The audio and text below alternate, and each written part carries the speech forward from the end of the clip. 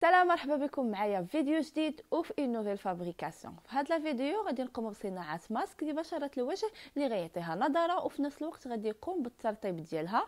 إذا هذا الماسك غيكون صالح بامتياز للبشرة الجافة إلى المختلطة. وغنحتاجو في التركيبة 80 غرام طين أحمر 50 غرام زيت الأرغان 36 غرام زيت جوز الهند 14 قطره من الزيت الأساسي لبذور الجزر. وطبعا مادة حافظة. هذه الكمية اللي استعملت غتخرج ليا كمية صغيرة من المنتوج. يعني نتوما إلا بغيتو كمية كنقيسو الزيوت كنقيسو زيت الأركان اللي غادي يرطب لنا البشرة وغيمنحها نعومه وغيساعدنا في التخلص من الجلد الميت.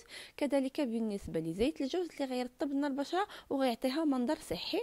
غنضيفو عليهم الطين الأحمر اللي عنده دور مهم في تجديد الخلايا ديال الوجه وبالخصوص بالنسبة للبشرة الجافة لأنه كيحتوي على أكسيد الحديد. وغادي نخلطو مزيان التركيبة حتى كنتاكدوا أن الطين الأحمر جانس لينا تماما مع الزيوت.